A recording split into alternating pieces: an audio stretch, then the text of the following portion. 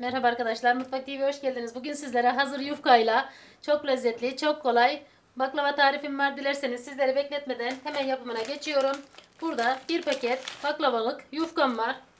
Öncelikle yufkamızı hazırlayalım. Baklavalık yufka çok çabuk kuruyor, pul pul dökülüyor arkadaşlar. Böyle bir nemli bez hazırlayalım. Bezi suyun altında ıslatıp suyunu iyice sıktım. Şimdi baklavalık yufkamı bezin arasına koyacağım. Mutlaka bu şekilde hazırlayın.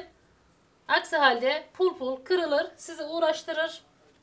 İstedi, istediğiniz sonucu alamazsınız. Gördüğünüz gibi bu şekilde şerbetini hazırlayana kadar, diğer malzemesini hazırlayana kadar bir 10-15 dakika kenarda beklesin.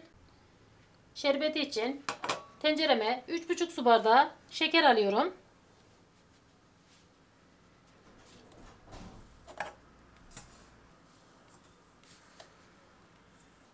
Bunu da yarım koyuyorum. Aynı su bardağı ile üzerinden 4 su bardağı da su ilave ediyorum. Şimdi tenceremi ocağıma alıyorum. Kaynayana kadar harlı ateşte kaynadıktan sonra orta ateşe alıyorum. Şerbetimi 15 dakika kaynatıyorum. Baklavamda kullanacağım malzemeler 300 gram tel kadayıfımız var. 150 gram dövülmüş cevizimiz var. 125 gram tereyağı erittim. Üzerinden bir çay kaşığı da sıvı yağ ekliyorum. Şöyle birbirine karıştıralım.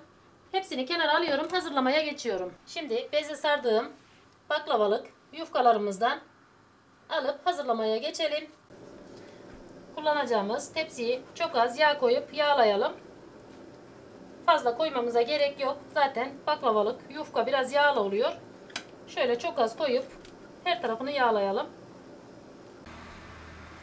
Masamızın üzerine iki tane yufkadan alalım. Bu esnada elimiz çok hızlı olsun arkadaşlar. Yufkalar kurumasın. Şöyle üzerine birazcık yağ gezdirelim. Diğer yufkamızla tam köşesi köşesine gelecek şekilde üzerine açalım. Tekrardan bu katına da yağ gezdirelim. Erittiğim tereyağdan birazcık bardağa koydum. Bu şekilde kullanması daha rahat oluyor. Şöyle kadayıftan tam orta katına eşit bir şekilde seriyorum.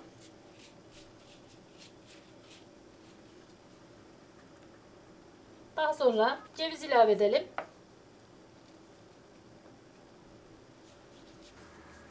Şu katını çok az bir şey katlayıp en ince oklavamızla baklavamızı saralım.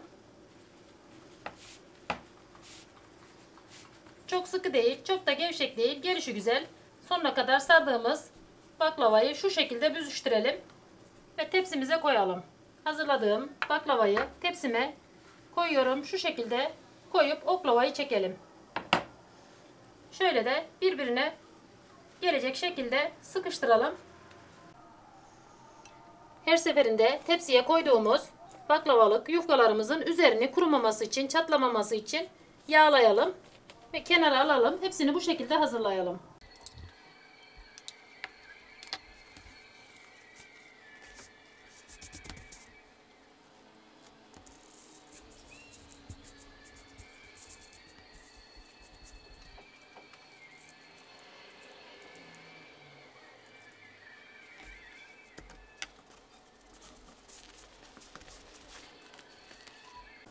Şerbetimi 10 dakika kaynattıktan sonra çeyrek limonun suyunu sıkıyorum.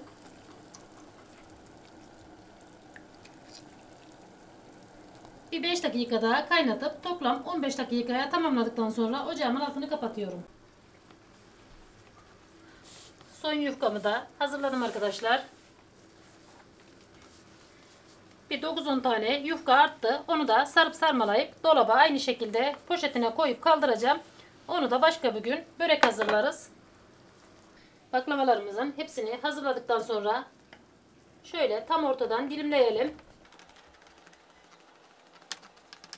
Baklavamızı dilimledikten sonra kalan tereyağımızı da üzerine bol bol sürelim.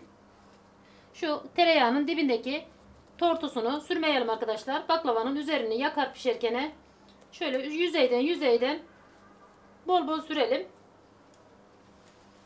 Tereyağımı da özenle sürdükten sonra baklavamız fırına girmeye hazır.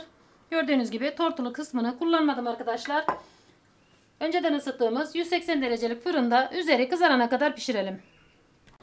Baklavamın üzeri nar gibi kızarana kadar fırında pişirdim arkadaşlar. Şimdi fırından çıkarır çıkarmaz şerbetim de bu arada tamamen soğudu. Sıcak baklavama soğuk şerbetimi ilave ediyorum. Gezdire gezdire hepsinin üstünden özenle dökelim.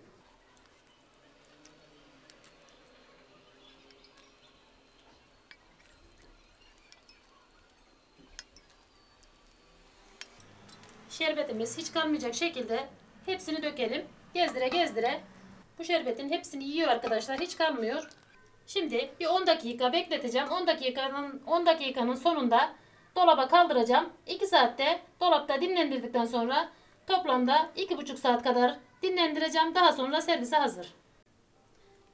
İyice dinlendirdiğim baklavamı şimdi üzerine süslemeye geçiyorum. Hindistan cevizi ile süsleyeceğim arkadaşlar. İstediğiniz şekilde süsleyebilirsiniz. Süslemesini tamamen size bırakıyorum. Bu şekilde bile servis edebilirsiniz. Şuradan servis etmek için 3-4 dilim alacağım. Gerçekten çok güzel gözüküyor arkadaşlar. Çıtır çıtır kıvamı enfes olmuş. Baklavam servise hazır arkadaşlar. Dışı çıtır çıtır. içi yumuşacık. Kıvamı da gerçekten çok güzel olmuş. Gördüğünüz gibi çıtırlığı duyuluyor.